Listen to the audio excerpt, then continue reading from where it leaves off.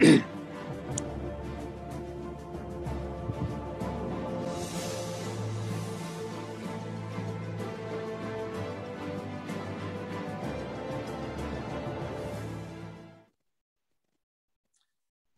you all uh, for joining us today for EMBCA's Unfinished Business, Post-War Greek Adoption History and Current Adoptee Activism panel discussion.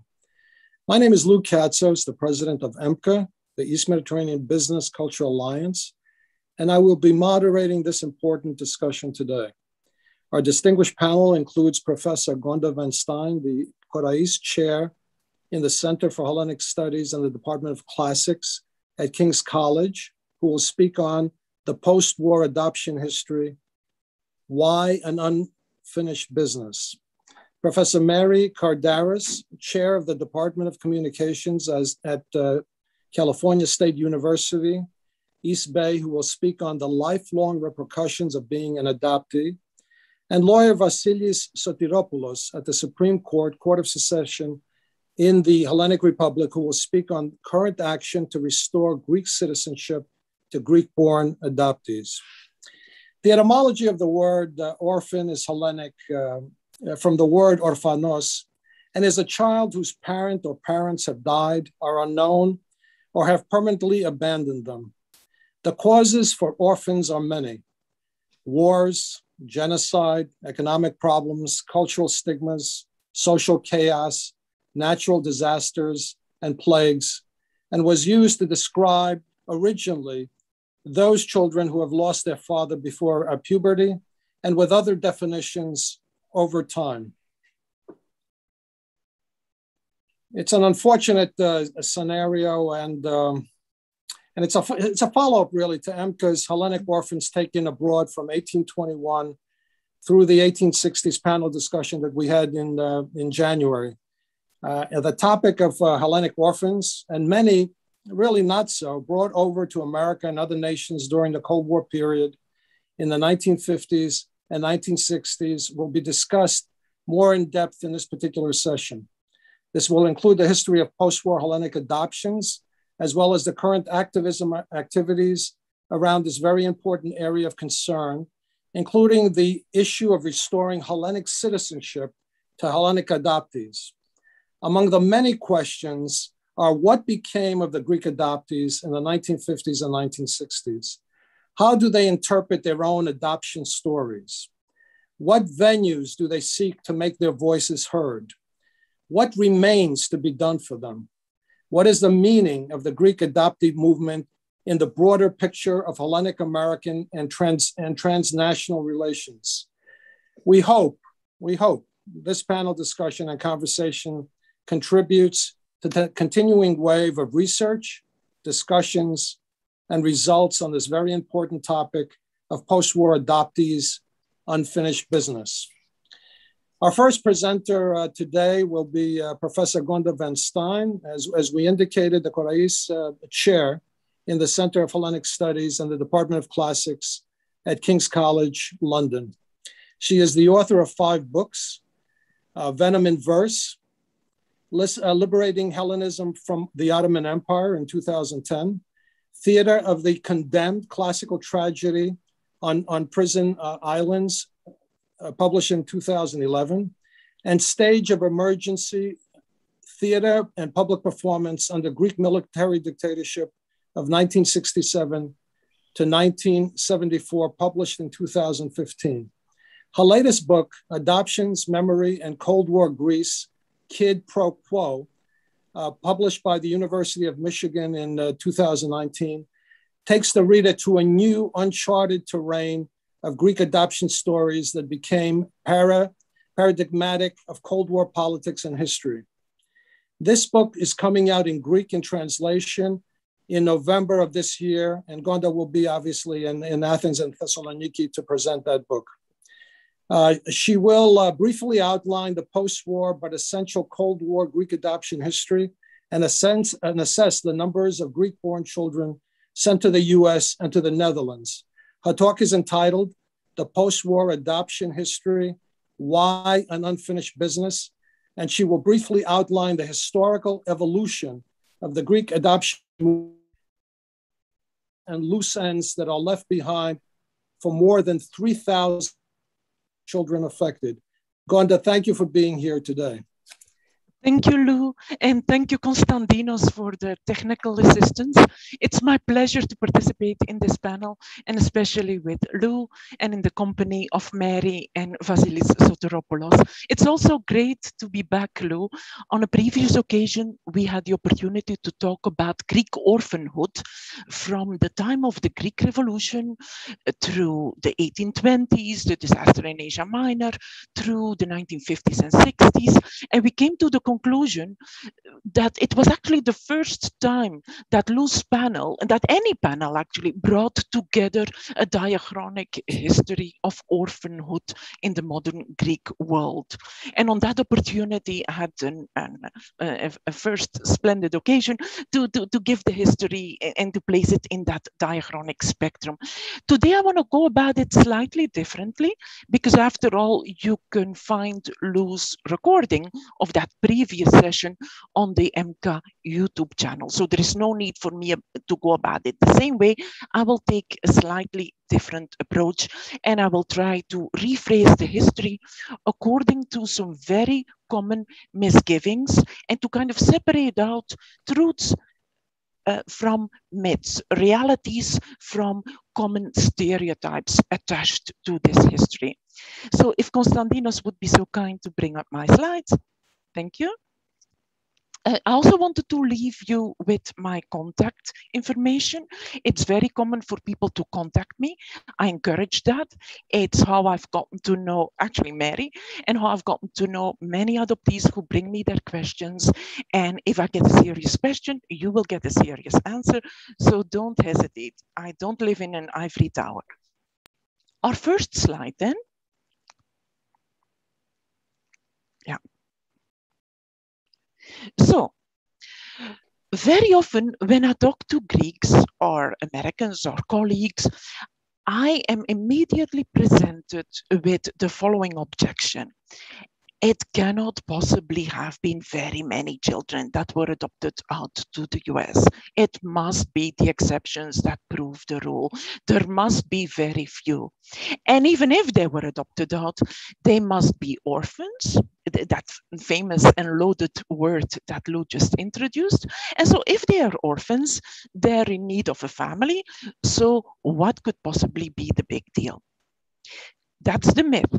The reality is when we count the numbers of the Greek-born children who were given out by Greece to the USA and to the Netherlands and even to Sweden and some other countries, we count a total count of some 4,000 people. That's a tremendous number, especially when you think of the fact that there are 4,000 forgotten people. This is not like the pedomazoma of the Civil War or the pedopolis, where people have discussed the history, reconstituted the numbers, argued about the numbers. Uh, this is a non-existing list of, in, in, for all practical purposes, almost non-existent cases if it wasn't that these people exist and are speaking for themselves and that their travel records and their paperwork show that there are indeed very many of them, more coming out of the woodwork every day. And if you add them all up and include the most forgotten of all, which are the Dutch ones, 600 who went to the Netherlands, then we indeed reach that startling number of 4,000 children. So the quantitative aspect is immediately a reality that should debunk the myth of there being very few. But there's also another aspect to that first misgiving. The fact that they're all orphans and therefore, you know, there, is, there shouldn't be any outcry about this adoption history, right? After all, orphans need a family. If a family also wants to take in an orphan, it's a win-win situation, right? Well, no. Orphan is a very fudgeable, a very stretchable category in the 1950s. I must say, immediately after the Civil War, there were indeed many children who were orphaned. But either these children grow up in, in an extended family network in Greece, or by the by about 1955 we see that most of the children who travel to the us are no not orphans.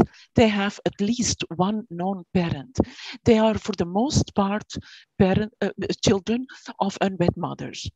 So they are not technically orphans even though that label of orphanhood still sticks to them. Now these illegitimate mothers have given up children and, and actually very many of them but mainly because society did not open up any other solutions for the young unwed mother who had typically been kicked out of her family, left unsupported, could not be employed, uh, had nowhere to live.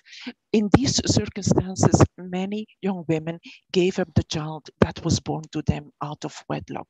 But technically, orphans, these children were certainly not.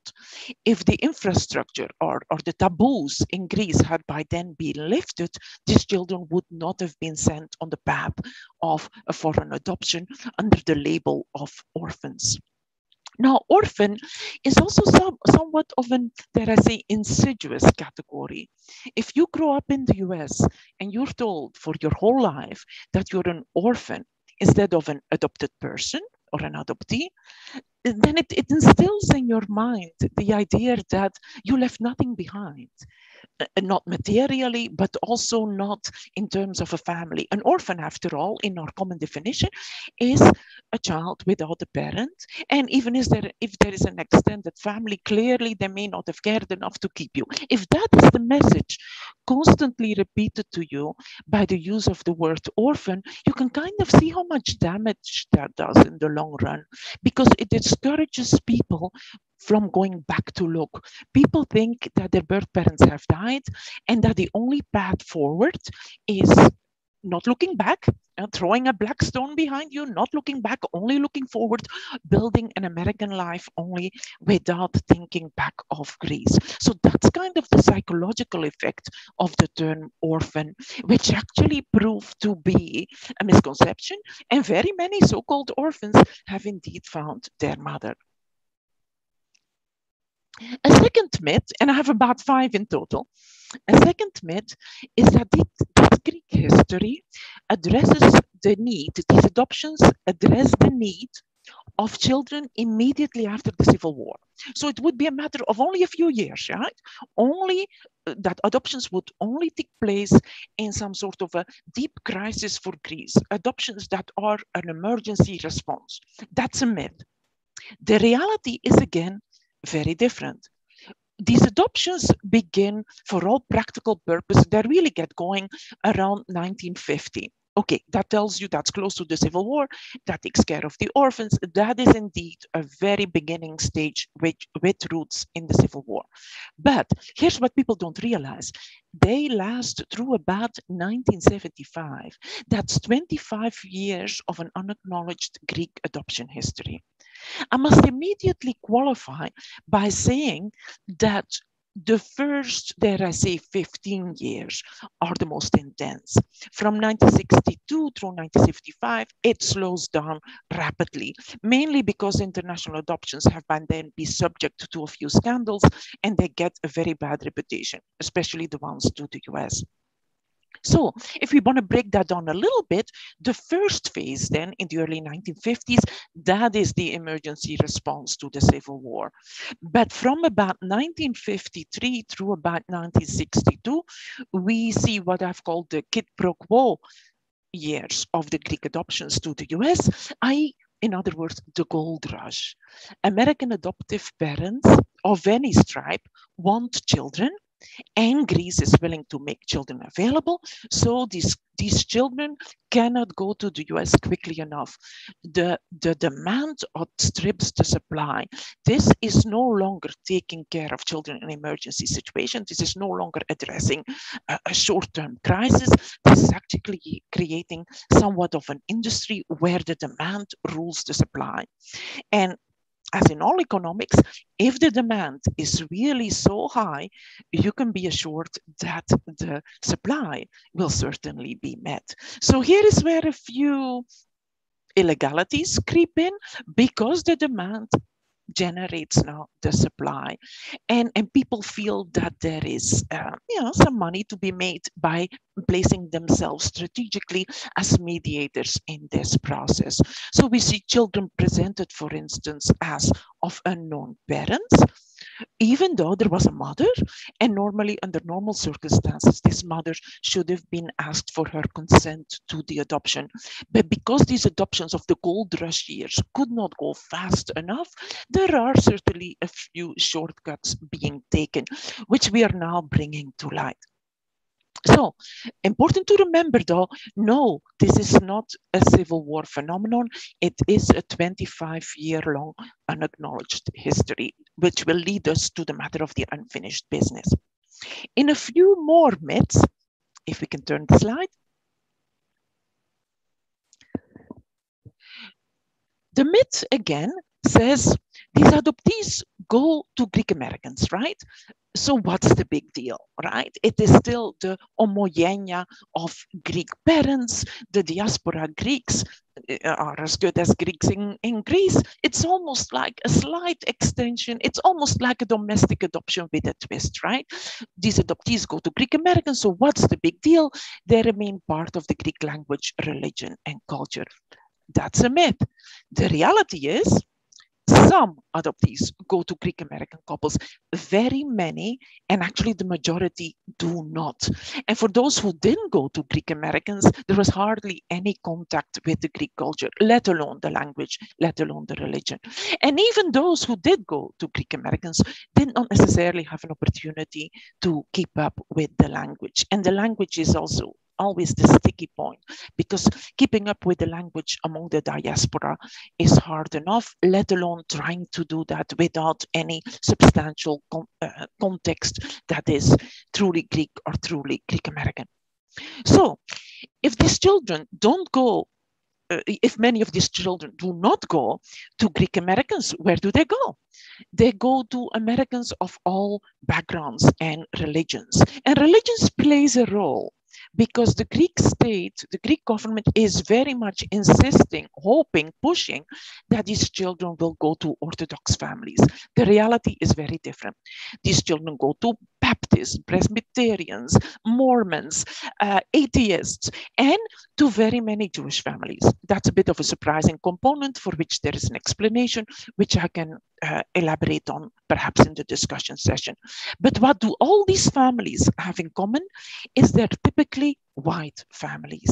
No children go to African American families because African American families in the 1950s did not stand a prayer of a chance to request a white child. It would have been inconceivable. In fact, they hardly ever entered the adoption market at all. So these go to white families, and white families are in the 1950s seeking white children, and Greek children are considered white enough. And I, and I had that enough because 15 years earlier that would have been questionable. So Greek children are considered white enough and therefore the demand. What these families also have in common, even if religion doesn't unite them or anything else uh, uh unites them, is that they're typically kind of middle class, middle class to pretty well to do because it required a certain amount of money to do to, to do these adoptions and the uh, Athens court, if it was the Athens court that processed the adoption, liked to see evidence of a certain financial stability in the household. Another myth. Greek birth mothers who gave up their children moved on with their lives and forgot whatever happened. Myth reality, the pain for Greek birth mothers of not knowing, of realizing they were put under pressure, of regretting that they didn't find their family, of still not having any closure is intense and it's painful to this day. And many of them have already passed away without ever having the answer of what happened to their children. When I meet them, and occasionally I meet them, uh, even though they're still shy and still ashamed very often of what happened before, you know, with a pregnancy before marriage in the 1950s, which was the worst that could possibly happen to a young village girl. When I finally meet them, the shame, even in their 90s, still rests on them. This makes of these birth mothers a group that we won't be hearing much of. They would only ever talk to me in the most private of circumstances. They will never start leading a movement, like, for instance, in Ireland or in Scotland or, or even in Belgium and the Netherlands, it's, it's actually quite prevalent everywhere, of birth mothers who felt that they were unduly separated from their children. And that even they, though they consented, their consent was not necessarily informed consent because there was either undue pressure or they were just never given any other options or not properly informed of their options. I cannot hope for that kind of movement to be generated in Greece because the shame is still strong and many, pe many people are just not alive anymore. So they will not, um, well, they will not unite around that topic because they've never realized the power of their voices. Add to that that many of them were Eh, eh, you know, modestly educated, if educated at all, village girls, and they, they never think of them themselves as a formidable force in this picture, which I find particularly sad because I, I'm out to do something for them as well. And then the last and the greatest misgiving, the worst misgiving of all, these children went to the US, they went to the land of milk and honey, and they lived happily ever after, and they never looked back oh my, oh my. The reality is, even when they had they ended up in a loving family and everything went well, there is still that lifelong search for the truth, not necessarily for the birth mother, for but for getting to the bottom of the story. What happened? Under which circumstances was I giving up? Why was I not wanted? Um, Uh, uh, why did Greece consent to hundreds of adoptions without ever questioning where we all came from? And this is in the circumstances where adoptions kind of turned out decent. And then there are the very many adoptions that didn't turn out well. And these people speak of abuse, of trauma, of being unwanted, of being uh, given back by their families to the agencies who placed them, or of being kicked out of the house at an early age and ending up in an American institution after a few after they had already spent a few years of an um, of their early life in institution in Greece. So the trauma and the abuse are actually, um, and I decry it, rather prevalent. Uh, I wish I could say otherwise, uh, but it's not. It's not the case. Uh, the bad experiences are very many, and it takes people a while, and it takes them a deep level of trust. And very often they like to be amongst their own to be able to talk about it. Some of them also write about it, and the books that have been written speak about um, circumstances and speak sometimes very openly about abuse. But it took until 2011 for the people to really gather up the courage to start publishing their books. So that means 60 or 50 or 60 years of silence go by before people could finally say it. And that in itself, the, the not having a place to express what happened, or to even to express your uncertainties about belonging or so, the not having an acknowledged space to be able to express that, that in itself was already very difficult. So that should put a few misgivings um, um, out out of our mind, hopefully forever. More of this, more of the evidence that goes into it, more of my interviews with people can be found in my book, but there's there's no need to repeat that. But it leads us to the big question of the unfinished business. Knowing what happened and knowing that some wrongs of the past cannot be corrected, we owe it to ourselves to ask what can still be corrected. And here are the three sticky points. Adoptees to this day suffer from a lack of records. Now, mind you, there aren't very many to begin with, and, and some agencies or mediators made a point of not keeping any. But there is a law, a Greek law from 1996, that says that adoptees are entitled to their records, to any help possible to get to their records. Unfortunately, that is a toothless kind of law. And uh, the horror stories of meeting with unwilling bureaucrats getting the door closed, being asked for all sorts of impossible documents to prove who you are and to prove the name changes that took place in your life. Sometimes we meet, we see in that path of searching for the record so many hurdles that you actually really wonder whether that law of 1996 is put in practice or if it's just there to look good on the box. That's number one. Another part of the unfinished business is the lack of recognition. I mean, think of it. It's kind of sad that 60 years and for some almost 70 years went by for Greece to finally realize that they exist, that they speak for themselves, that they're not about to disappear, and that their voices, the voices of these adoptees, are actually growing louder. But the initiatives are taken by the adoptees themselves. Greece Greece still has an, open, an opening, but Greece has not stretched out the first hand. It's the adoptees who've done the hard work by publishing, by being interviewed, by writing, by speaking publicly, Eh, eh, it's the uh, adoptees who are owed recognition, and Greece is only ever so reluctantly coming along. So clearly, a lot more work has to be done here. And I would like to see work coming from the agencies who are actually mediators, agencies that are active and well, such as DIAHEPA. DIAHEPA, for instance, was involved in both adoptions with every good intentions, but also some adoptions that didn't go too well and eventually led to some scandal. But we all realize that what happened in the 50s stays in the 50s. What doesn't stay in the 50s is a possibility to correct some of these things. So this is an open invitation uh, to the DIAHEPA to not compound what happened in the past by indifference or lack of recognition. The door is open, adoptees are expecting it, and they would welcome any positive move from the DIAHEPA, especially in point number three, the fact that these adoptees lost their Greek citizenship and wanted back because they were Greek citizenship.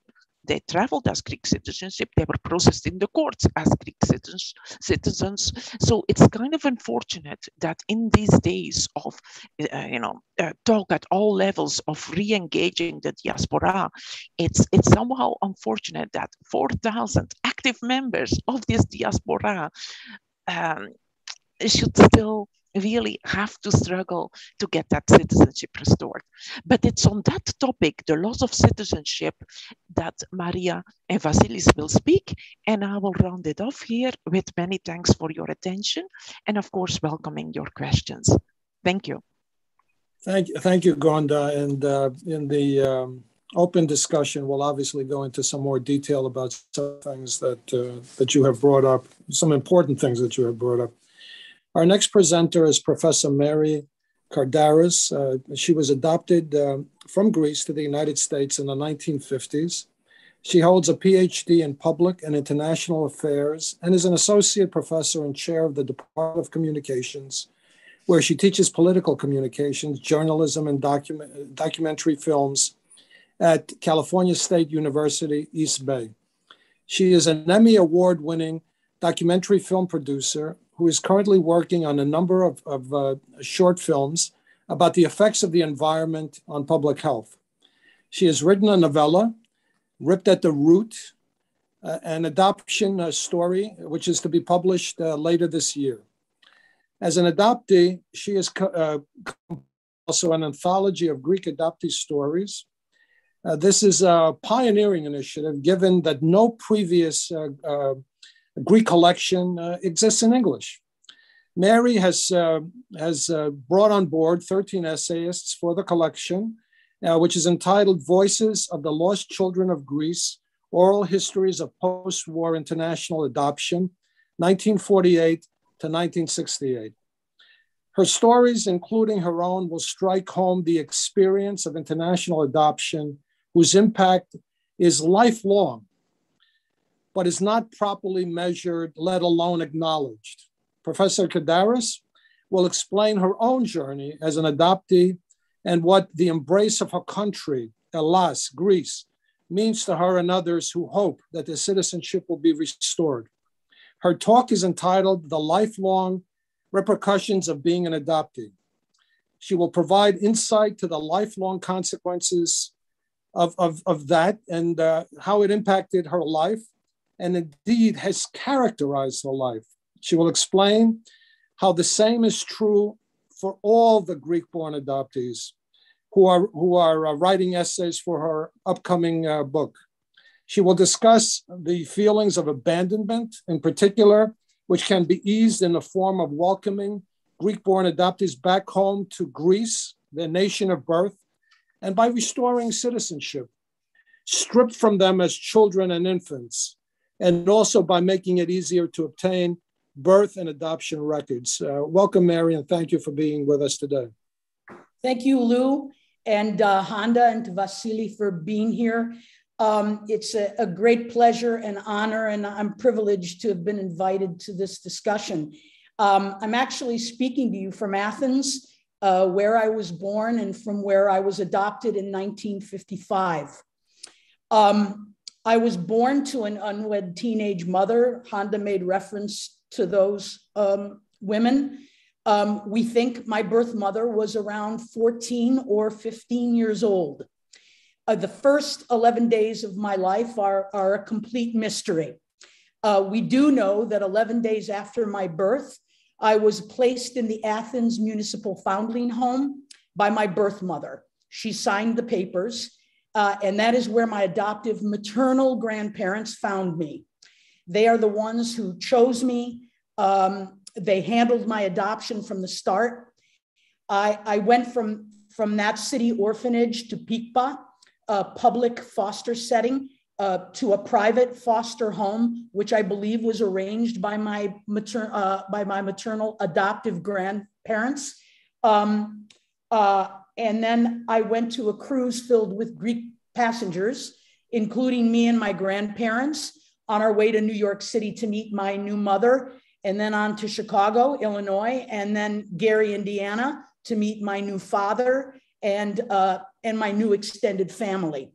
Um, as you can see, a lot happened in the first year of my life. Um, I'm grateful that I did not lose my culture of origin. Many Greek born adoptees did. Uh, I was raised in a Greek home. I had large Greek families on both sides. Uh, I went to church, the center of our Greek cultural life. Uh, I went to Greek school. I had mostly Greek friends. Uh, as a young woman, I dated only Greek people. Uh, no surprise, and, and not much of a choice there, I'm afraid. Um, I was active and involved in Goya, and we went to Greek dances. I, I also went to a Greek camp in the summertime. And yet, uh, and yet, my adoption and my difference as an adoptee have colored and characterized my life from the start. I, I have never not been the little girl from Greece. I have never not been identified as anything other than adopted. Um, my whole life, I was identified as special, and that cuts both ways. I could never just be my parents' daughter. Um, I was always and will be always their adopted daughter. I could never just be my brother's sister. I was always and will always be Nick's adopted sister. I am stigmatized that way, and so is my brother, uh, who is also adopted, by the way, although not from Greece. Um, I want to say before I, I, get a little deeper into this um, that I am not angry at anyone. I do not look back on my life with any regret. I do not blame anybody. I, am just not built that way. Everyone involved in my adoption did the best they could under the circumstances at the time. And that includes the wonderful, loving parents who raised me and the parents responsible for the very fact that I'm alive, uh, my birth parents who chose um, or, or were persuaded or were forced to give me away. I have great sympathy and love. Uh, yes, absolutely love for my birth mother. Um, have I had a good life? Of course I have. Could I have had a good life here in Greece? Well, why not? Uh, we just don't know. And just because she was poor and young doesn't mean that I couldn't have been raised here in, a loving home. Um, for the record, I'm 66 years old. although I probably don't look it, I'm sure. Um, I have no biological connection to anyone I know. And actually, as I get older, uh, that notion is, is terrifying to me in a way. I, don't know who my ancestors are. I don't look like anyone or share any mannerisms with anyone I know. My family is from Lefkada and Ithaki. I know those places very well, and I love those places as if they are my own, but they are not where I am from. Uh, I share with my adoptive family um, those places. Uh, they uh, come from a long lineage, a bloodline dating back to the 1400s, but they are not mine. Um, all my life, I was told a beautiful little adoption story, um, but my past was erased. However, however young it was, however small it was, it was erased. It was erased. And as a matter of fact, a new birth certificate was even generated for me, as if my adoptive parents had been responsible for my birth. Um, my life actually began when I became someone else's child. I was reminded of my difference in big ways and small ways. And so as a result, I, I think I, I, will admit I grew up as an insecure kid who always thought she would be left. Um, and my parents had to reinforce quite often, as a matter of fact, by pulling out adoption papers to, to explain that I that they weren't going anywhere, that I wasn't going anywhere. That was a refrain as, as a young kid. Um, I could not sleep away from my parents and grandparents until I was a young teen. I never thought I was good enough to do anything great or good. Um, I often feel like an outsider. Um, and I have to say that these feelings often emerge and persist to this day. And for the longest time, I didn't understand any of them, my feelings. I always had to sort of navigate my place in the world without ever realizing I was doing it. Uh, these feelings found explanation just two years ago. Um, please know that without understanding where you come from and from whom you come, you can never be completely whole. This is the lesson and the learning that I am experiencing now. Um, after my last surviving parent died, it was my mother um, in 2018. I, I did feel abandoned and I felt untethered to anyone. Uh, but I also realized for the first time that I had the space and time to think about my past. I never wanted to hurt my parents, and so I just kept quiet about any deeper questions I may have had. So I, I returned to Greek school as an adult, uh, as a senior, where uh, I met a woman whose cousin uh, has an unbelievable, incredible, sad adoption story. And I was moved by it and shocked by it. Um, I am a journalist by profession, and I knew a great story when I saw one. Uh, I wrote her story, and as you mentioned, Lou, thank you. It's called Ripped at the Root, which has now been published and can be accessed from uh, Amazon and the publisher. Um, the subject, uh, the adoptee, uh, her name is Dina Poulias. There is no question that she was a stolen baby from Greece during the 1950s and she had such courage in recounting the painful memories of her past and telling her story through me. And I'm honored that she was willing to do that. When researching that story, I met Gonda. Um, and as a matter of fact, Dina appears on, I don't know, page 203 of Gonda's uh, amazing book, which I highly recommend. Um, and that's how I made connection uh, with Gonda through my writing Dina's story. Um, and then I, I, met another woman, um, Gabrielle Glaser, who wrote an incredible book about American adoptions entitled American Baby, which I also highly recommend. After Dina, then Gonda, then Gabrielle, my own feelings began to emerge after, after my search uh, was dormant for about 21 years because I did poke around, but I stopped. Um, And then after I met these women, I, I was able to, to place my feelings in the context of my, of my own experience as an adopted person. So I'm evolving. Uh, my thoughts uh, and understanding are at this age uh, coming into clear focus. Um, the fact is, um, and, and, Gonda mentioned it, I, I was never an orphan. Um, and, I, and I was called an orphan my whole life. I had a mother and a father. I know their names now. Um, I know where my birth mother lives. Um, I have stood outside uh, her apartment uh, here in Athens, terrified to press that buzzer. Um, we don't know. And, I, and by the way, I just learned my birth father's name because some papers were recently revealed to me that I never had before. This very kind woman had a, you know, a dossier, a small dossier, which I, I just received about a month ago. Uh, anyway, uh, we don't know what influence my birth father had on my birth mother or what place he held in her life. Uh, what were the circumstances of my birth? Did they love each other? Did they know each other? Um, I hate to say it, but he, did he rape her? Was I a product of a rape? Where were we, she and I, during the first 11 days of my life? I know I wasn't born in a hospital. We, we do know that.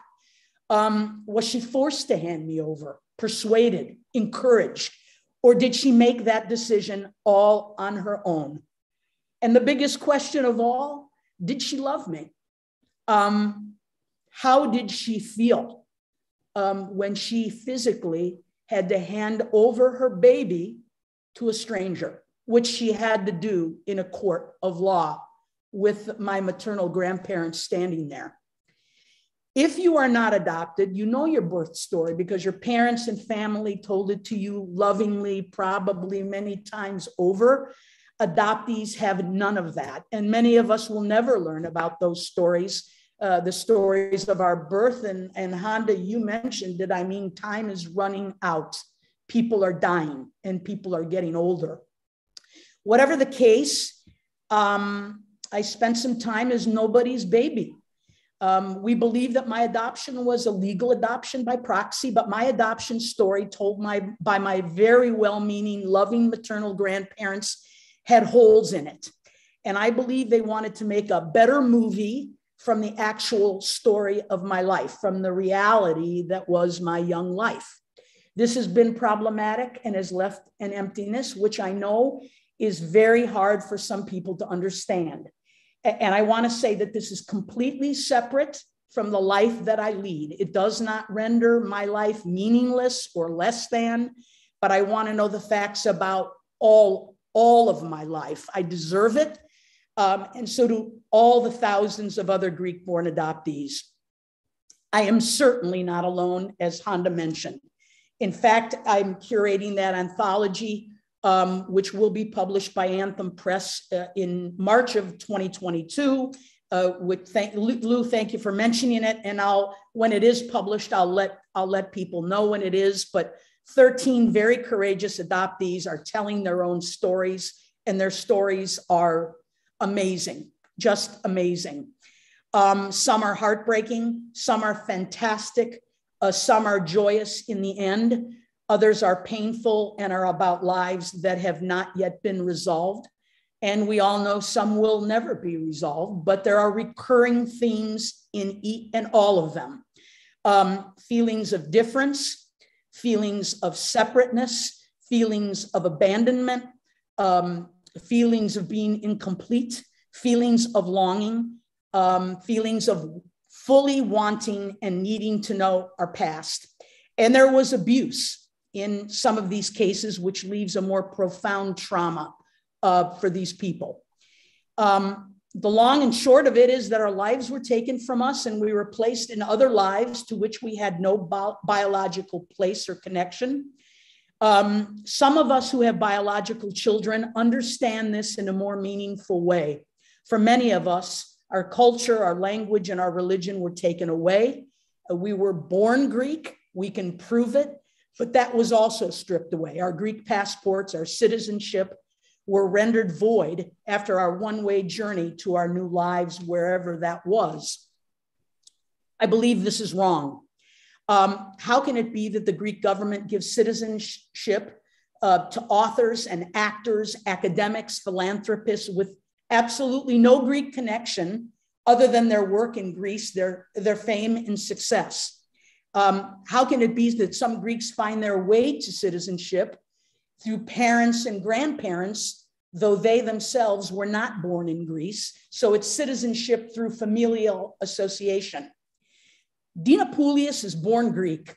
There is no dispute, there is no question. She should be the first among us to have her citizenship restored. Thousands of Greek born adoptees have mobilized, and we have joined with many others, uh, thousands of others uh, of intercountry adoptees. Uh, we need help, we need support, we need understanding, we need all of you who are watching this afternoon uh, to stand with us. What we are asking for is our adoption records unsealed and completely open to us and as complete as possible. Uh, we want our citizenship of origin restored if we want it back. And we are putting some pressure on the Greek government to have this happen as soon as possible. Um, recently, I was struck that the president of Greece finally granted citizenship to one Yannis Antetokounmpo, the, the basketball phenom. It should have happened at birth for him. Uh, Yannis was born in Greece and identifies as Greek. Uh, as Greek. Uh, so are we, born in Greece. So do we identify as Greek, and we are proud Greeks. We love Greece. And, and I have to ask, can we please be next? Um, it is indeed our birthright. Um, thank you for being here, and, and thank you so much for listening. Mary, Mary, thank you for that, and we'll come back with uh, obviously some questions in the larger uh, in the larger panel discussion that we're going to have. Just one small question for you: Are you currently a Greek citizen? I am currently a Greek citizen, and and Lou, I want to say that um, that came with um, a lot of humiliation to to prove that I was a Greek, that I was born Greek, and and the only reason I got it is because I had advocates in Greece pushing. Um, and this was a long time ago, but, but it's not about me because now I fight for everybody else to have the same. Um, and for me, yeah, and for me, no, no, no please, no, please continue, please continue. It, for me, it means it means everything. It's it's the first, it's the first thing I know about myself. It's the only thing I know for sure. I'm a Greek, and and now I'm a Greek citizen, and I, when I'm here, I feel it. So thank you. Th thank you, thank you, Mary. Uh, our uh, our next presenter, and, then we'll go into the open panel discussion, is Vasilis Sotiropoulos. He was born in Athens. Uh, as a matter of fact, our, our, our panel actually is uh, international. We have uh, Gonda in London, we have Mary, obviously, in Athens, and we have uh, Vasily in Athens. He is a lawyer with the Supreme Court of Greece and holds a master's degree in public law. In 2005, he founded the first legal blog, eLawyer, in an attempt to generate a debate on the protection of personal data and respect for civil liberties on the internet. He is always looking for ideas for institutional innovations that bring people closer to their constitutional freedoms. With that in mind, he was first elected, he was the first elected ombudsman of the city of Athens in 2012 alongside of, uh, of a group of co-workers, they create this structure or created this structure from scratch in Athens for the prompt resolution of disputes between the citizens and the city of Athens. Having uh, been elected ombudsman for the region of, of uh, Attica, his mission has been to strengthen the relations between citizens and public services and to achieve the resolution of disputes between them acting as a mediator without having to go to court. Vasily, Vasily's talk today is entitled Current Action to Restore Greek Citizenship to Greek born Adoptees. Uh, Vasily will speak about the efforts made to have the Greek citizenship of Greek born adoptees recognized. He will explain how the current activism builds on other challenges that have been posed in, in narrow definitions of Greek citizenship. Uh, welcome, Vasily, and thank you for being with us today. Thank you very much. This is an honor. Thank you very much for the invitation. Um, I'm very new in this discussion. Uh, the professors are very experienced and uh, uh they described uh, from a personal point of view, Professor Cardaras, and from a more historical point of view, Professor Van Steen, what's happening. So my role is to contribute as a lawyer what can be happened with the three uh, aspects of uh, uh, finishing this business, like the access to the records, the recognition of the whole situation, and of course, the restoration of the citizenship. Uh, this is a challenge, of course, for every lawyer to, to find out how it will, it will be working because there are many different cases.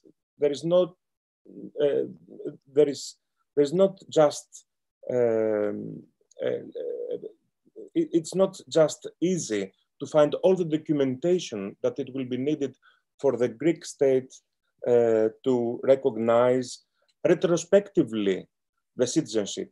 I'm sure that uh, uh, Professor Cardaras experienced uh, a lot of uh, uh, problems and um, barriers in, in, in this way.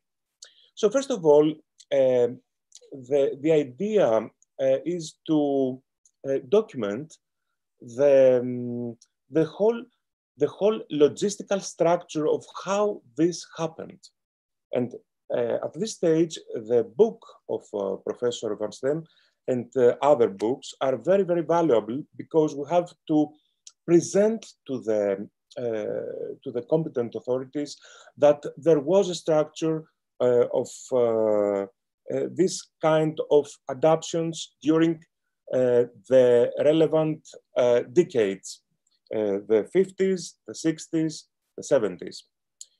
Uh, our work, secondly, is to find uh, cases that click, that have a connection with this whole structure and to place them within the sphere of the general situation and the general um, mechanism uh, that uh, all this happened. This is very difficult because the, the Greek authorities will always be reluctant when it comes to personal data and very much to the citizenship restoration. But we have some new tools, like the 1996 law that Professor Van Steen referred to uh, before, that um, the, the, the child has the right to know the documentation of the adoption.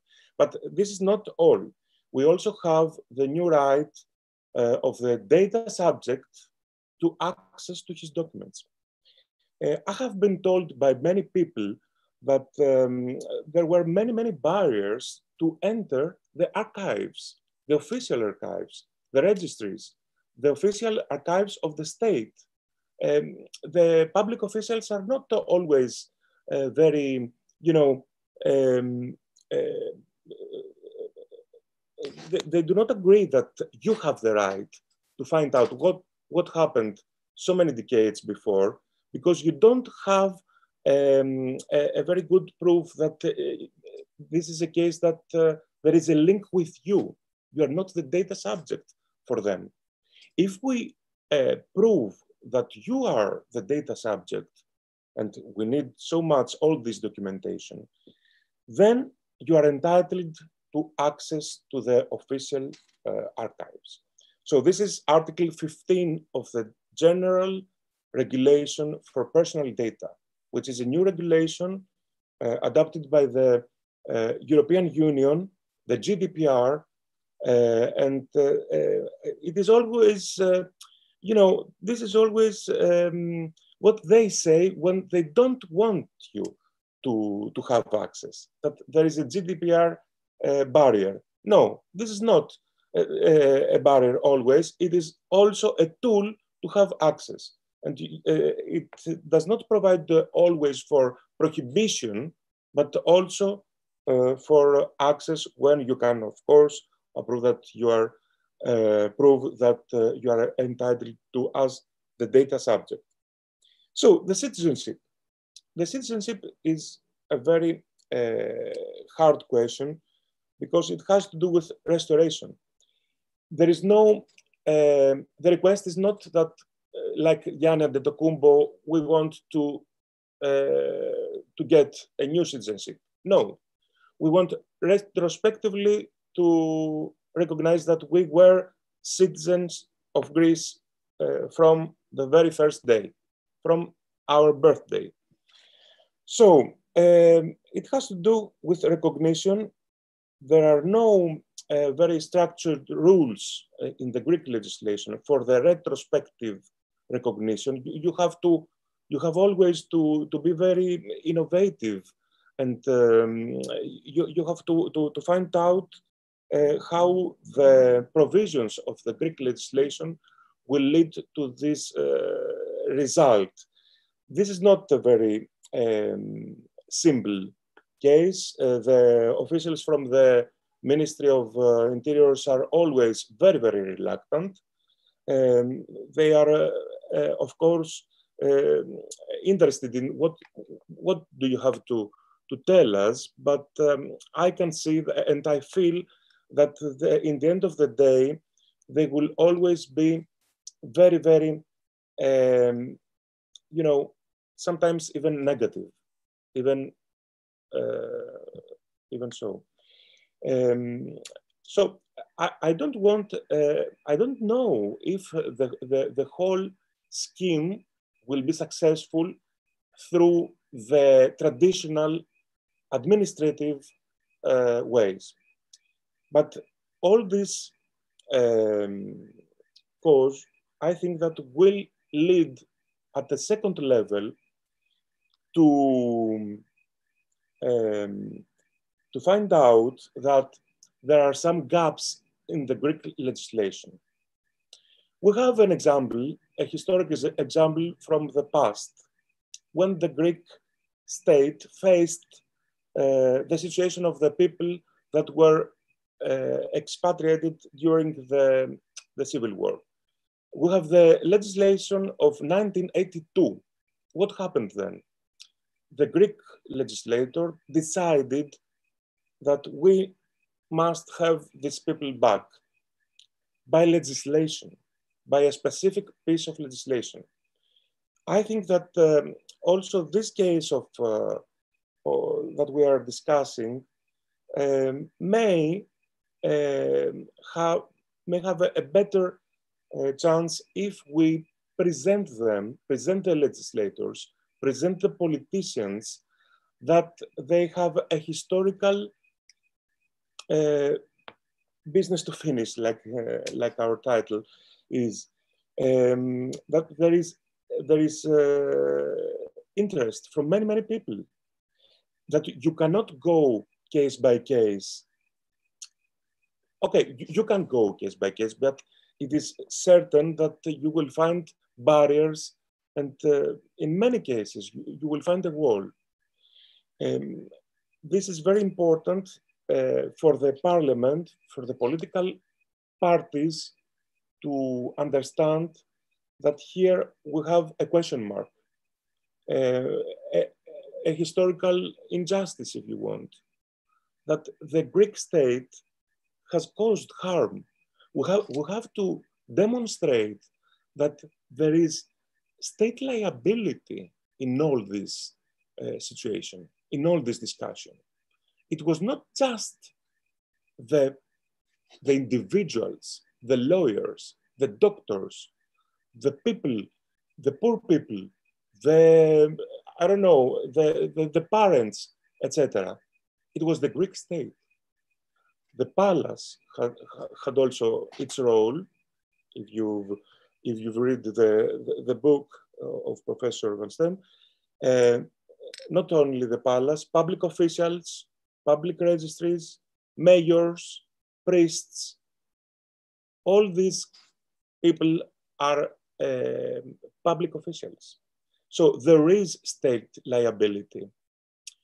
And we have to, we have to present to the, to, to the political world in Greece that this is uh, state liability that if we go to the courts at a later stage, it may cost uh, compensates, um, I mean, money to the state. Um, so the best way is to find, to find out a regulatory solution, uh, a legislative solution, uh, in order to, to face, to handle the whole situation as a pattern and to provide for specific rights with time limits, perhaps, that you must do the, the whole situation in three years, for example, if you have all the, all, all the documentation, uh, with, uh, with a specific administrational uh, procedure, with a fee, with a state fee perhaps. Okay, we, we can discuss all the things that the, the Greek state will be um, will need in order to, to recognize the whole uh, class of all these people that uh, are demanding their citizenship, their dignity, their roots. So uh, there are many things to do. Um, we will try to start with three completely different cases, but under the, the, the same umbrella of this whole situation. And uh, we will go uh, case by case in order to find out how it will work um, in the level of a bigger picture, of the big picture, how the legislator uh, can um, intervene and, and give a democratic uh, and uh, legislative solution in the end of the day at the Hellenic Parliament. This is my point of view. This is, uh, there are many, many philosophical, uh, legal, constitutional uh, questions that uh, we can uh, discuss.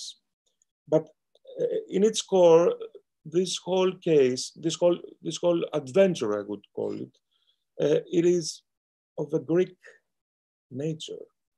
I, I don't know. I don't want to be personal because I have nothing to do with. I'm not an, ad, an adopted uh, child, I think, uh, but but because you never know what happened. But um, I think that this is very, very Greek. It goes me back when we were studying the Greek tragedy. And uh, I think that uh, if this is a Greek case, we the Greeks can give the best solution. We can find out. Uh, we, we, can use our traditional uh, historic experience of how you handle these things with dignity, with rights, with recognition. So I hope um, it, it, was illuminating at a certain level. We, the lawyers, must not uh, speak very much. We, we must keep, we must reserve our powers for the courts, for the, for the public authorities that we will defend people. But I think that uh, I gave you a sketch of uh, how I can imagine that the things may work in Greece. So thank you very much again. Vasily, thank you, thank you so much for that because the the bigger picture, uh, to a certain degree, has has, in my opinion, has this was fascinating by the way, but the bigger picture has uh, more validity for uh, success, I think, than the individual, uh, you know, fighting of, of, each person to get their own records and all and all the rest of it. There's no doubt. There's no doubt that this is a, this is a Greek state. Uh, um, serious, serious problem and, uh, and liability, quite frankly. We all know, even those who are not adoptees, that getting your Greek citizenship is a serious issue. Whether you were born in Greece or whatever, many people were born in Greece and it's taken them actually years to go through the system, even though all the records exist, to become Greek citizens. The diaspora in general, many people are angry about this, by the way, and I hear it all the time. I did an event having to do with, uh, you know, how do you get, uh, you know, your Greek citizenship and becoming a dual citizen. Uh, also based on the fact that the 200th anniversary of the Greek Revolution was was coming up. So, so I'm listening to all this, and I'm listening to all the individual trials that people are having, and they do not want not only the adoptees, they do not want many people from the diaspora to get their citizenship. Period. And I think, and I think your your concept and people can argue this, they can say whatever they want, you know, government officials can do whatever they want. And we'll have a conversation earlier of why we're having this event when I met uh, Gonda in Athens, uh, you know, in, in, in late July. But getting back to what you were talking about in terms of, of uh, legislation, creating legislation that will make it easier and a path for people who are acknowledged as being adoptees as a created, a Greek state created circumstance with the appropriate liabilities and all the rest of that to allow those individuals uh, to, to, become uh, Greek citizens or to at least give the pathway to become Greek citizens a lot, a lot quicker. Would, would you like and, and the other, uh, the other uh, panelists to, uh, you know, to, to uh, go into that particular issue? Well, I have a question for Vasily. Um, I don't I don't understand why um, the government, why the state doesn't view this issue for adoptees and others. And I, I agree with you, Lou. People who were born here have a hell of a time getting their citizenship in, in Greece. It, it's impossible, but doesn't the Greek state see this as in its best interest? It, you know, I mean, it even expands the voter base here in Greece. No, they, they, they don't, Mary, Mary, they, they don't. And this is an open discussion now. We can chat with each other. No, they don't. As a matter of fact, because they're so politicized, they, they fear, they fear other people becoming Greek citizens and having the ability to vote. It's absolutely ridiculous, okay, that, that Greek governments, regardless of which government it is, has the same problem. I was born in Greece, came into the US. I have all the papers. It took me seven years, seven years to get to get my Greek citizenship. I, I know a lot of people. I could have gotten it very quickly, but I prefer to go through the system. Okay. And some people may say, Lou, it's a mistake. You know all these people. Why, why didn't you do it quickly? Because you know what? I got so angry, so angry and ticked off as to what was going on, and that they did not want to process that paperwork that I just sat back and relaxed. And I said to myself, you know what? I'm going to go through this thing step by step. Screw them. Excuse my French. Screw them. I'm going. I'm going. I'm going to do that. So when we hear about the adoptees who have who have who have all these issues about getting the information that they should be getting anyway, and then after they go through the process of years of trying to get this information, and then they put them through the process to do the same type of thing that totally infuriated me not only me, but, but thousands of people throughout the world, by the way. The adoptees must be, must be seething, seething in anger about this. Yeah. I fully share this point of view. Um, it is a reality. First of all, they are afraid of what's happening with the with the ballots. if you get the writing vote, they cannot measure it. They, they don't know what happens. Se secondly, there is also there are also layers in the Greek administration. It, it, this is not a matter just for the ministry, for the minister. This is the whole bureaucracy, which is a very hard bureaucracy um, when it comes to the recognition of the citizenship. Uh, they, they are they're really very very strict. They are removing happily citizenships when something's not very clear. And this is a case that uh, um, I have uh, find, found out uh, many times. And uh, they are not corresponding with what the minister says. Um, I mean, I had a case when the minister said, okay, give them the citizenship, and the, the public officials do whatever they could in order to avoid the, the man to have the, the, the Greek citizenship. They issued the, the decision from the, from the minister and uh, backwards they i mean in uh, you know uh, later they they tried everything in order this to fail and not to be um, in in force this this this is completely machiavellic and this is very and you are in the core of the deep state here because there is a deep state in uh, Greece.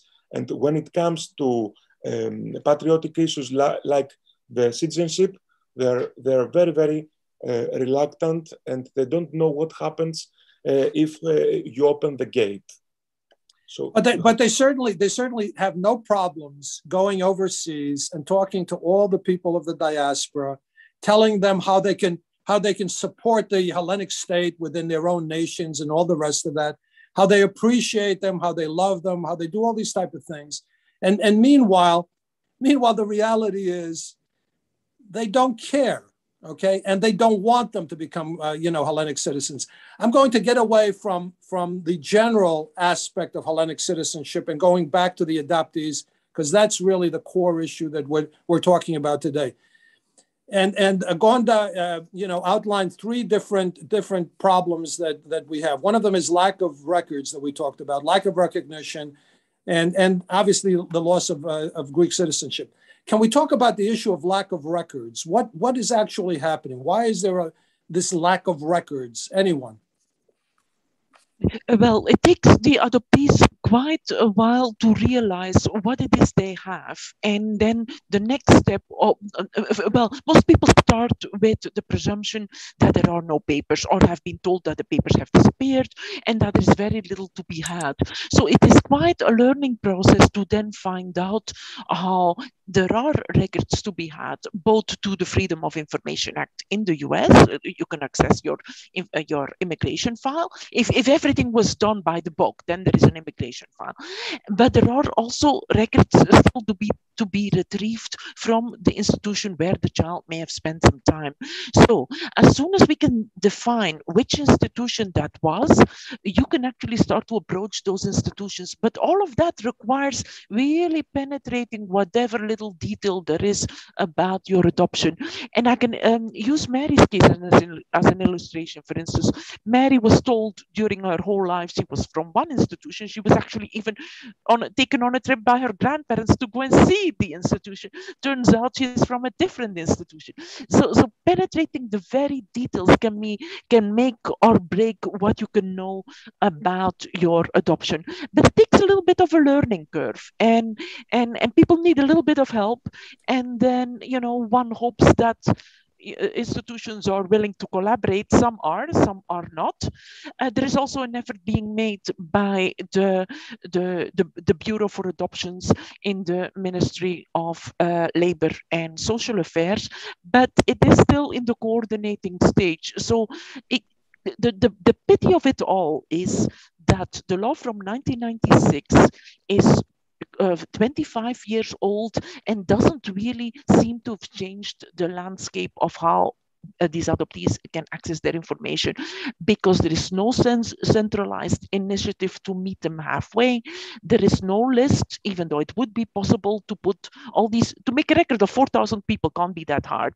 Um, uh, to, to kind of say, okay, whenever this person with this name knocks on the door, even if they have only 50% of what they, uh, what they can at that moment produce in terms of documentation, we should meet, meet them all the way rather than abusing the lack of the 50% that they don't have to say you have to come up with more documentation. You have to have a lawyer to, to, to confirm your name changes. You have to employ a lawyer in Greece to do this for you and, and kind of put more obstacles in the in the path of people. I get the feeling that that uh, more goodwill needs to be in place to meet these people at least halfway. Well, let me, let me ask you a question. It's, is it is it a lack of records or a lack of access to records? I mean, it seems to me that the records exist, but the access getting to them seems to be the seems to be the problem. And, and when you mention lawyers and all the rest of that and research and all that, it almost seems to me like like that like that's another business, quite frankly, just like the business of of, of the uh, of the children to begin with in, in the 1950s and 1960s the, the bottom line is it's a gatekeeping issue that there will always be a person uh, who who thinks that uh, perhaps through the through the new privacy laws perhaps uh, uh you know people can still not access their records. Even though the law says law loud and clear that as an adoptee you're entitled to, to your records. But some some gatekeepers will invoke for instance the privacy of the birth mother uh, in claiming that she also has a right to her privacy but that's not what the law says. So it's, it, it's really uh, deep down a matter of uh, fear of taking responsibility and gatekeeping.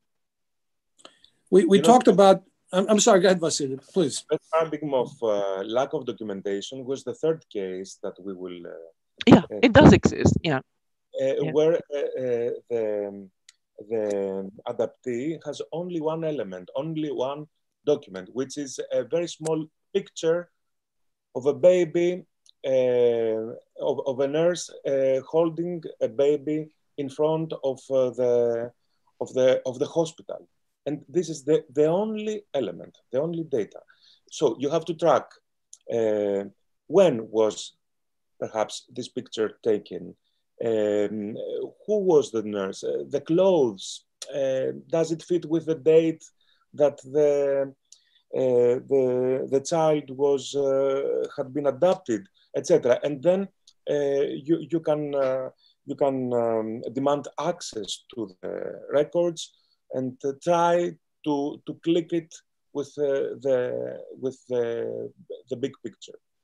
Yes, Vasily. But if, if we go back to what you were talking about, creating the legislation and hopefully having having the politicians create a law they can actually put together that information and that data for every adoptee that that the 4,000 that uh, Gonda, Gonda is talking about, rather than making it impossible or making you know people you know becoming like Sherlock Holmes to try to figure out who they are, what clothes did they wear, and and all the rest of that. It's it's absolutely outrageous.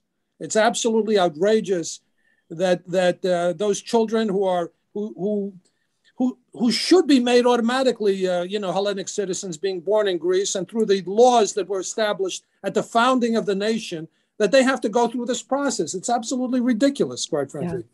Yeah. if I may, Vasily, uh, I'm, I'm sorry, excuse me, Gonda. Vasily, what about, you know, many of us have our, our baby passports. I have my baby passport, our blue passport. Mm-hmm. Why can't those be used as, you know, they're expired passports? Why not, you know, my name's on it. My why can't those just be re- restored, renewed? Exactly. This is the this, this is the the most um, you know obvious uh, element that uh, can be used in a situation like that. And I, I think that this will be the core of a new legislation um, ah. in this uh, aspect. Yeah. Getting, get, getting I'm sorry, Gonda, go ahead, please. I, I wanted to add something different on the level of, of, of, of the bigger picture of ethics. The adoptees are made to feel as if they have somehow commit, committed a crime and need to prove their innocence, as if that somehow their request for restoration is somehow a suspicious activity, and therefore every little piece uh, needs to be found and needs to be documented to kind of rise above it and be proven innocent, which is a total misconception of where the fault lies. The fault has never uh, lain with the adoptees. The fault lies with the Greek state the, the, and, and, the mediators, of course, many of which have disappeared. But to, to actually put the victim in the role of having to prove their innocence is a complete distortion of how this case of restorative justice is misconstrued. The burden of proof should not lay on the victim. The burden of proof should go back to the people who actually committed the actual deed. Uh, and so yeah, the fact yeah, they're almost forced to be like enemies of the state. They're sitting there in front of in front of the judges, you know, like enemies of the state. It's absolutely ridiculous. It's it's it's Anyway, Gwen, I'm sorry I cut you off. No, no, it, but it's a misconstrued conception of where victimhood and where the burden of proof, proof lies. And right now, the, the collecting, the agonizing, the, the working through the bureaucracy, all of that rests on the sh- shoulder of the adoptees, which is, as I said, it, it's it's it's an it's a reverse picture of what it should be. And, and and let's not forget, this is for some people 70 years overdue. So yes, the voices are growing louder, but they are growing louder and, and, and dare I say more frustrated because you know all we have seen seven decades of missed opportunity of a hand stretched out to these people to to to, to correct something to to draw them in to reconcile to to to at least or to at least do a proper investigation so we can go to the bottom of it. Did it really take a total outsider? Myself to lay this bare? It, it, my first answer would be no. Vasily, Vasily, you were going to say something. I was going to say that um, all these guys from the government institutions, they will say that this is a matter of sovereign. Um, the state, this is not a matter of uh, human rights, for example. It has to do with the link uh, of the citizens with, with, the, with the state It, it, it, has nothing to do with your origin, your private life, your family life, etc. When it comes to, I mean, when it comes to the recognition of the citizenship. And uh, so for them, it, it is not a matter of burden of proof. You have to, to, to find out what happened and to yeah. provide all the, yeah. all the yeah, yeah. I, I, was I was a child. I was abducted, and I have to provide all the information. I mean, that's that's that's patently ridiculous when we think yeah. about it. Vasily, I agree with you that we're we're dealing with. I'm not going to say, you know, wise guys hiding behind the law, but this is absolute nonsense. And and I, I and I do think your path. Uh, you know, I think if anything came out of this discussion, your path of legislation Mm-hmm. And it goes into the second thing, which is the lack of recognition. In other words, Gonda, that was one of your points, the lack of recognition. Yeah. Let's go into that, the lack of recognition and how we can raise up the recognition. So, in fact, this could be legislated and, and we don't have to deal with this that every person who's an adoptee who has to go through this day after day after day after all these decades it's it's it's torture for them and it's not right. Can we and talk about the lack of recognition yeah.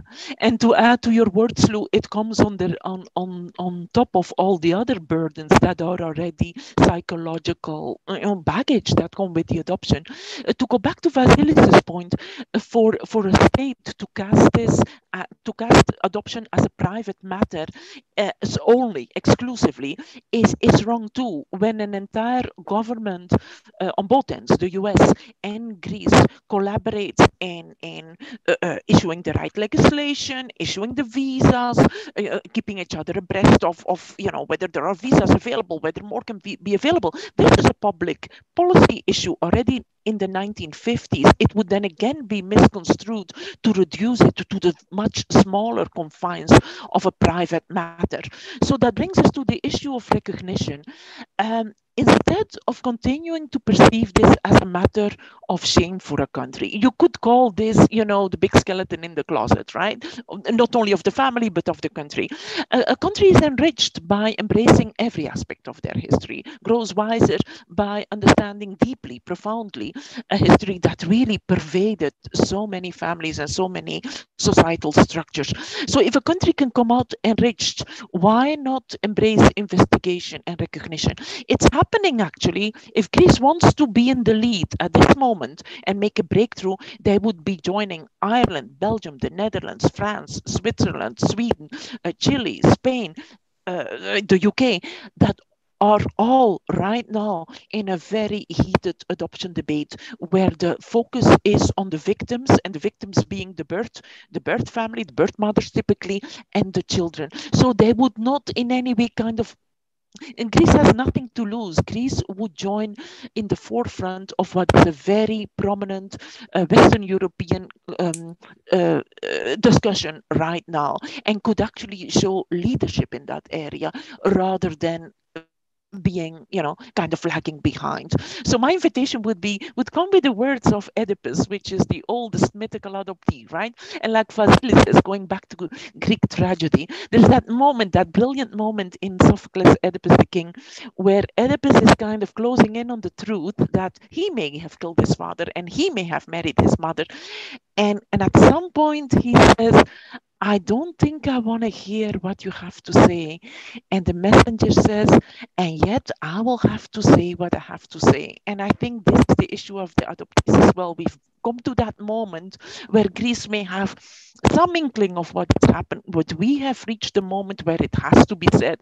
And let it be said in the best possible circumstances, or you know what happened to Oedipus, you, you know, we ripped our eyes out. So, so let there just be a message from Greek tragedy and let this be an opportunity for leadership rather than for a defensive stand and, and, and an act in which we would be lagging behind. I say that because I come to this with a great sense of caring for the adoptees, but also deeply caring for Greece because because that's what I've always done. Uh, but but that also means kind of you know laying bare what needs to be corrected because I care so much.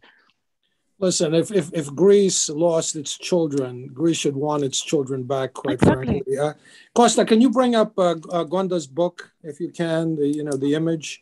Uh, if you can, yeah.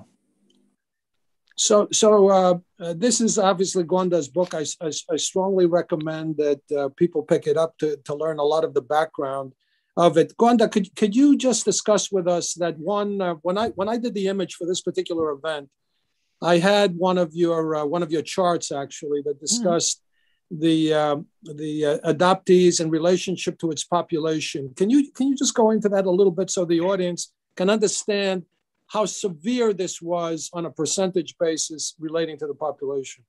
Yes, between 1948 and 1962, statistics were drawn up by uh, the visa offices of the US. So the numbers are centralized by the US as these orphans from various countries are coming in from Greece, from Italy, from Japan, from Korea, and um, and a few other countries, uh, Germany and Austria and Ireland. So those are the first.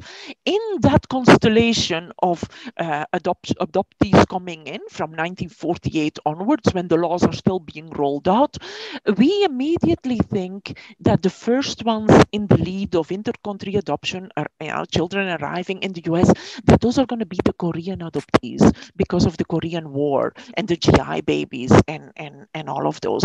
And then you start breaking down the numbers and uh, when we parcel out the uh, let's say comparing now the korean numbers which are big with the greek numbers which are also big leaving behind the german the austrian the italian and the irish which are not so big so when when two players, Greece and Korea, rise to the top as sending countries, as they are called, it then becomes interesting to to kind of put them in proportion to one another.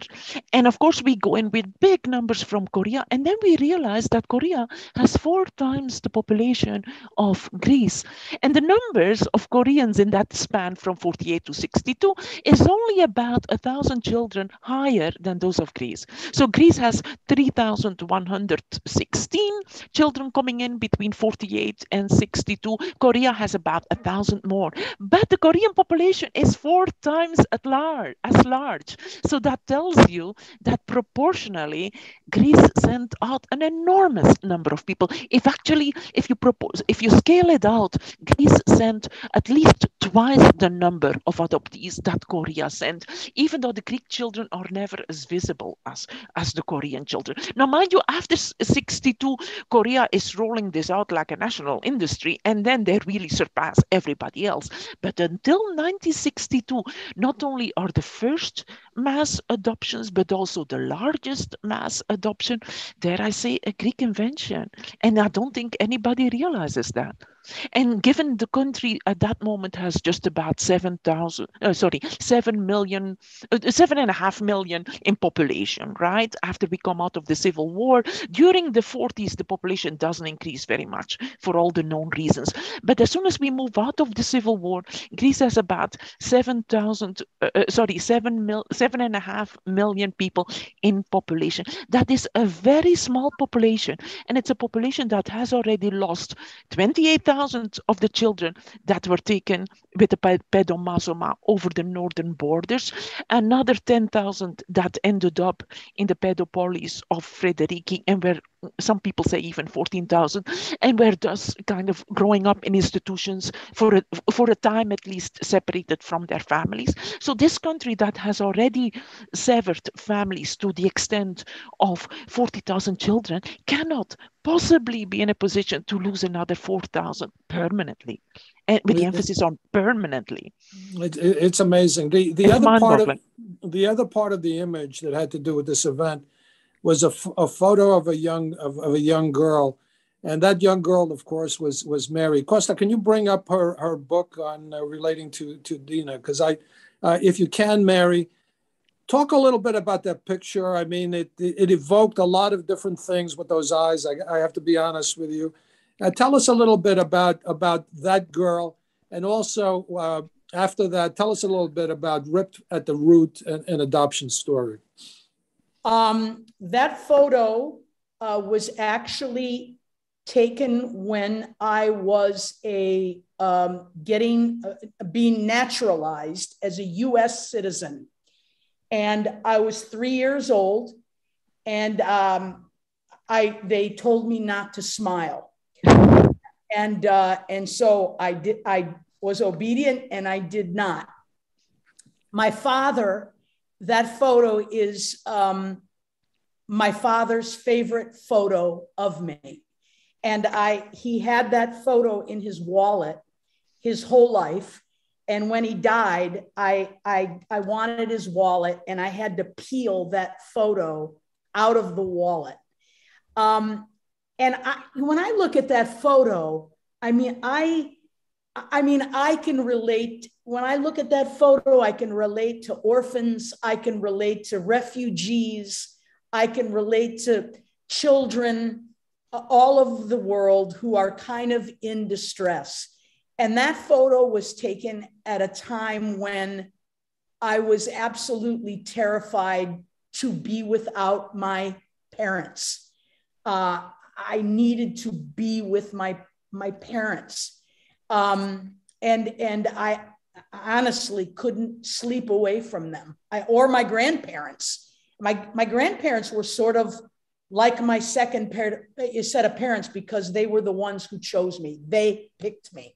And so they really felt some ownership to, you know, raising me and all of that. But uh, e- even when I look at that photo, it evokes a lot of, a lot of uh, feelings in me when I look at that photo. So that's the history of the photo. And um, it's swirling around social media now. So uh, any anyway, and I and I hope it, you know, I hope it advances the movement. I hope people use it. It advances the movement in some way because that was the moment I kind of lost my my line to, to being a Greek because now I was going to become American citizen and that was lost to me. So maybe that photo too means kind of loss as well. Um, and maybe that's why I look kind of melancholy, I guess. Um, certainly, you were a positive addition to you know the United States of America, and, and certainly, you. obviously, to Greece. Can you tell us a little bit about Dina, just a little? Oh, Dina, Dina, Dina is an amazing, amazing woman. She is uh, absolutely courageous. Uh, I, I don't want to tell you too much about the book because uh, that the journey of that book, when people read it, pe- at every kind of chapter, it's a short story really, but people with every turn are sort of amazed at what happens to her.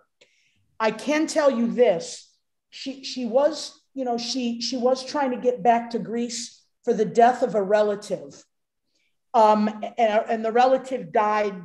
Uh, and she she had to get back to Athens. And she had the worst time trying to get back here because she didn't have documents.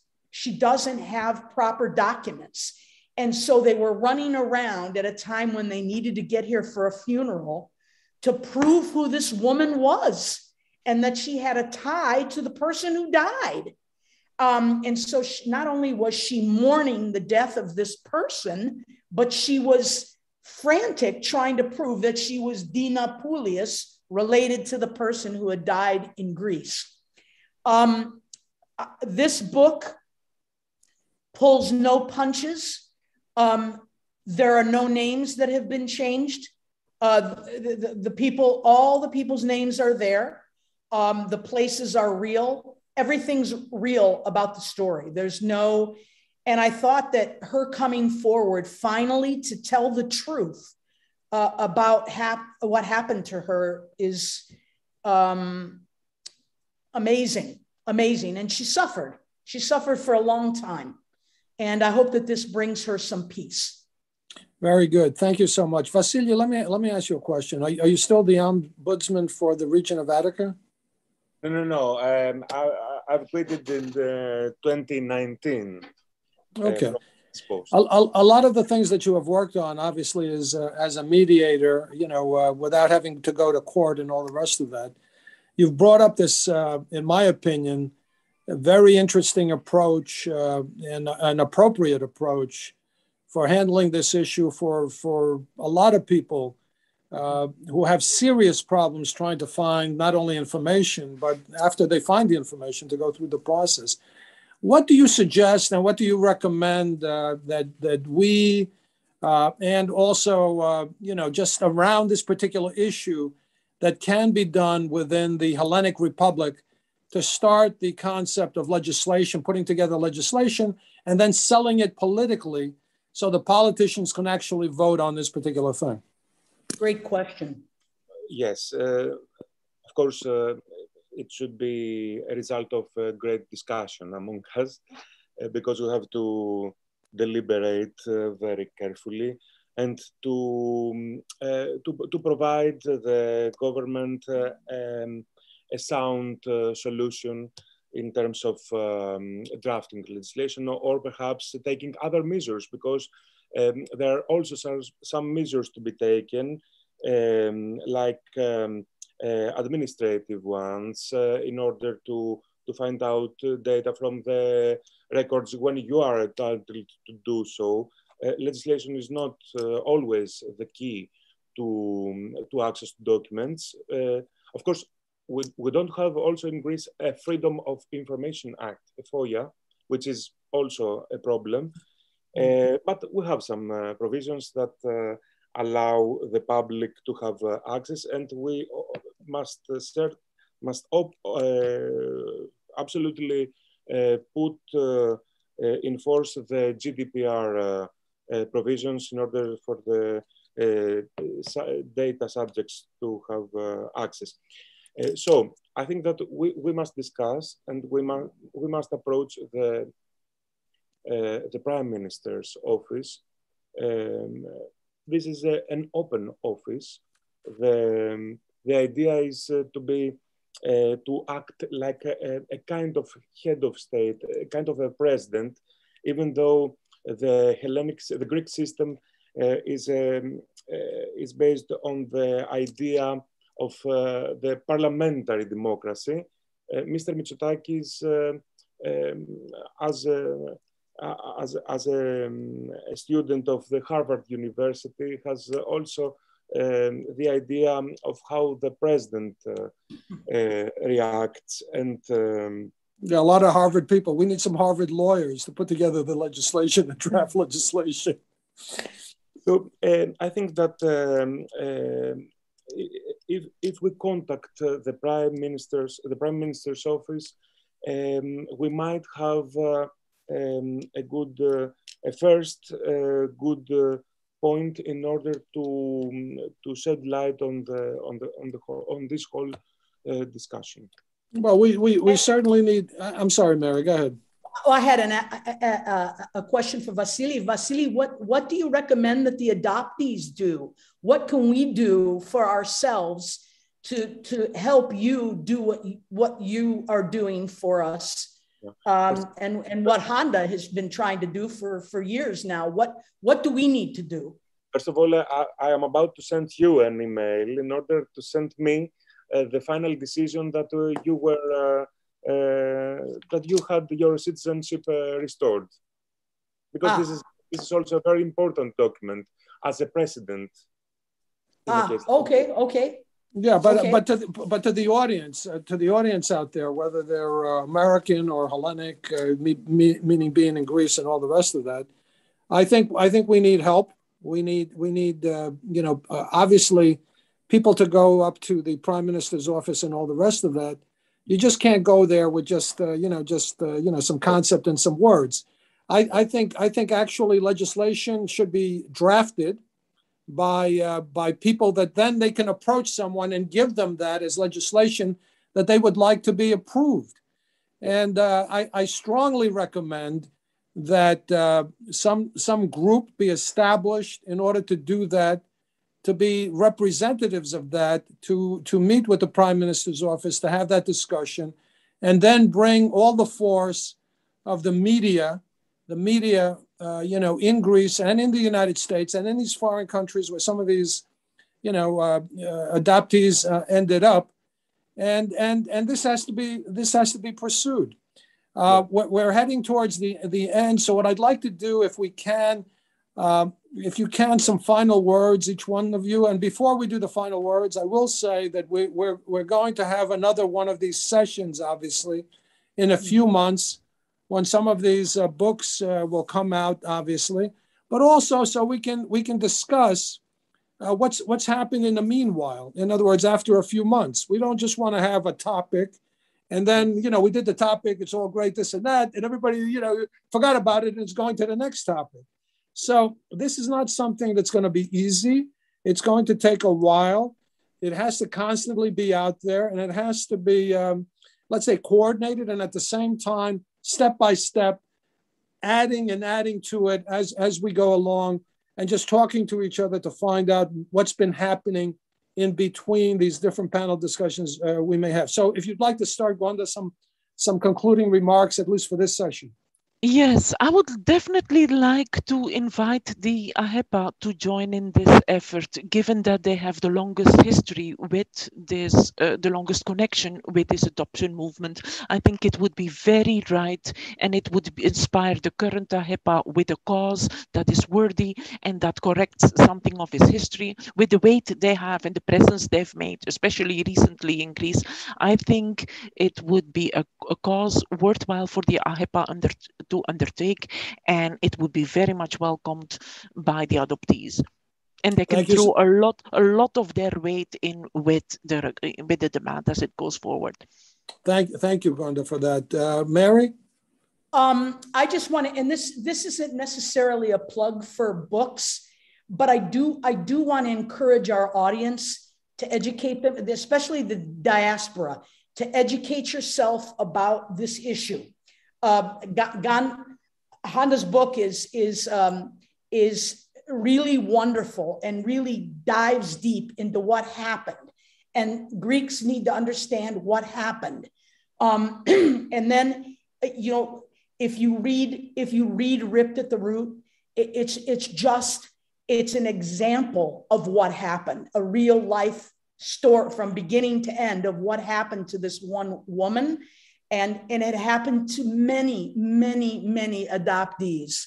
And so I'm encouraging people to read about adoption and even read about uh, this book called American Baby, because it's really the same thing happened in American Baby to an American couple that did, then did in uh, that did in Ripped at the Root to Dina Poulias. So, and I would also encourage your audience, Lou, to talk to adoptees um, because they'll tell you how they feel uh, and they feel deeply about what happened to them. Um, so those are my final words. Mary, thank you so much. And obviously, like, like, I said, we will have another session, and maybe we can bring some of those adoptees uh, be, besides ah. yourself, obviously, to, to have that, that dialogue. Uh, Vasily, some concluding remarks? Yes, all this uh, discussion includes involves um, uh, lots of reading. There's a there are important uh, pieces of uh, literature, bibliography. And I think that um, your idea to create uh, a kind of a task force in order to bring all the powers together and uh, try to lobby with the Greek government in order to, to find out what the best um, administrational and uh, legislational solution will be uh, is the best one. And uh, I, my feeling is that uh, it's um, a history in the making. It's people's mm-hmm. history also. It has to do with what the state did, but it has to do with the the, in, the intervention of the of the past and of the history and of the political history in um, in people's in in people life in the very existence mm. of uh, and the faith of the people. Well it, it's certainly it's certainly something that has to be addressed okay? It's gone on a long period of time. A lot of it has surfaced certainly from uh, you know Gonda's book and Mary's book and some other some other you know adoptees who have started organizations all the rest of that. And, and written uh, books and written and, books and written, and yeah. written books and all, and yeah. all the rest of that. I'd, I'd like to really thank the panel for what I consider an extremely serious, you know, discussion that we've had today. As I indicated from the beginning, it's the hope that that this discussion is, uh, you know, continues, and we're we're obviously going to continue it here uh, at EMBCA. We're not going to let it go. You know, we've done we we do a lot of events, as everyone knows, but there are certain certain things that are very important to us and i think this is one of the, those very important things that that we have to address as hellenic people uh, both in, uh, in uh, the Hellenic Republic and also in the diaspora. It's, it's extremely, extremely important. Uh, to our audience, I'd like to th uh, thank you again for uh, being with us. For those who want to find out more about, you know, some of our programs that will be coming up, you can go on the internet at embca.com and certainly go on YouTube uh, under uh, EMBCA, on YouTube under EMBCA, uh, to get a lot of the programs that we have. We have a whole series of, of you know, of dialogues on, on all types of very, very interesting issues. For those who can, subscribe to, uh, to EMBCA on YouTube. There is no cost. And as you know, there is no cost for the panel discussions that we have. We have no membership because we don't, we don't care about membership. Uh, all we care about is that we get information out there that's important uh, to us uh, in the Eastern Mediterranean. And certainly, this is one of those more, more important uh, aspects that we should discuss.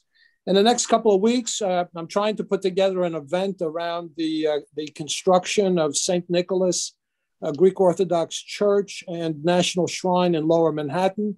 I'm trying to round up the appropriate engineers who are involved in the in the project, as well as some of the contractors, to go through some of those things that people never really talk about. We talk about architecture, we talk about theology, but we never talk about those people who actually make something happen in terms of a, a physical work, a building. We are going to have a, a live event uh, in uh, in Manhattan for Ochi Day. And in terms um, of, uh, I'm sorry? We, we are going to have a live event for Ochi Day on October uh, 28th uh, at the Three West Club.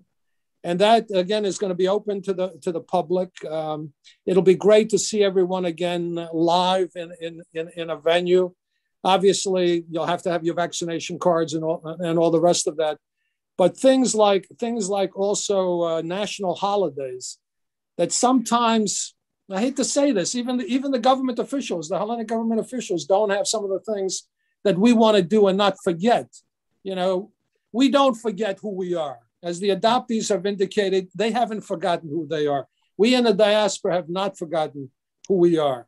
All we're asking for, quite frankly, is to be recognized to who we are, okay, to who we are, which sometimes, unfortunately, uh, we're not. So, with that, I leave you.